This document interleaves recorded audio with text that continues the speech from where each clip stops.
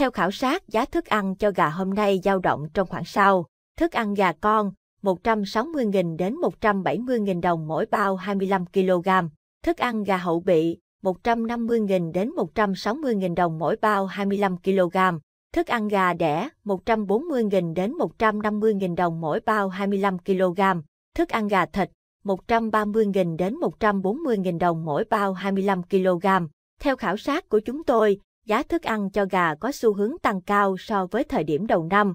Cụ thể, giá thức ăn gà công nghiệp loại 12% đạm dao động trong khoảng 25.000 đến 26.000 đồng mỗi kg, tăng 5.000 đến 6.000 đồng mỗi kg so với đầu năm. Giá thức ăn gà ta loại 18% đạm dao động trong khoảng 27.000 đến 28.000 đồng mỗi kg, tăng 4.000 đến 5.000 đồng mỗi kg so với đầu năm giá thức ăn hỗn hợp cho gà thịt giai đoạn 1, đạm 22%, béo 12%, dao động trong khoảng 26.000 đến 28.000 đồng mỗi kg giá thức ăn hỗn hợp cho gà thịt giai đoạn 2, đạm 26%, béo 14%, dao động trong khoảng 28.000 đến 30.000 đồng mỗi kg giá thức ăn hỗn hợp cho gà thịt giai đoạn 3, đạm 28%, béo 16%, dao động trong khoảng 30.000 đến 32.000 đồng mỗi kg. Trên thị trường hiện nay có rất nhiều thương hiệu thức ăn cho gà nổi tiếng, bao gồm thức ăn chăn nuôi Vinapha.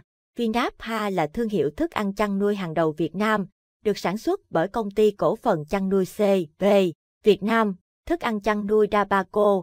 Dabaco là thương hiệu thức ăn chăn nuôi uy tín của Việt Nam, được sản xuất bởi công ty cổ phần tập đoàn Dabaco Việt Nam. Thức ăn chăn nuôi Greenfit. Greenfit là thương hiệu thức ăn chăn nuôi của tập đoàn IMA, một trong những tập đoàn nông nghiệp hàng đầu thế giới. Thức ăn chăn nuôi Sejivina Agri Sejivina Agri là thương hiệu thức ăn chăn nuôi của tập đoàn Seji Hàn Quốc, được sản xuất bởi công ty cổ phần Sejivina Agri. Giá gà vịt tại các trại cụ thể như sau. Giá gà thịt lông màu, miền Bắc giao động trong khoảng 45.000 đồng mỗi kg. Gà thịt lông màu, miền Trung giao động trong khoảng 44.000 đồng mỗi kg. Gà thịt lông màu ngắn ngày, miền Đông giao động trong khoảng 36.000 đồng mỗi kg gà thịt lông màu ngắn ngày, miền Tây dao động trong khoảng 36.000 đồng mỗi kg, gà thịt, miền Bắc dao động trong khoảng 30.000 đồng mỗi kg, gà thịt, miền Trung dao động trong khoảng 29.000 đồng mỗi kg, gà thịt, miền Đông dao động trong khoảng 29.000 đồng mỗi kg, gà thịt, miền Tây dao động trong khoảng 29.000 đồng kg. Giá vịt thịt Super Em, miền Đông dao động trong khoảng 38.000 đến 39.000 đồng mỗi kg.